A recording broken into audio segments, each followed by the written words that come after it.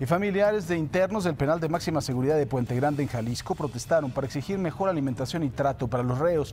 Se quejan de que son extorsionados y hostigados al momento de visitarlos. Además, organizaciones de defensoría de los derechos humanos informaron que los internos iniciaron por segunda ocasión una huelga de hambre. En un comunicado mencionaron que tal es la situación para denunciar estos presuntos actos de tortura, tratos crueles y también inhumanos. Imagen Noticias con Paco Sea, lunes a viernes 5.50 AM. Participa en Imagen Televisión.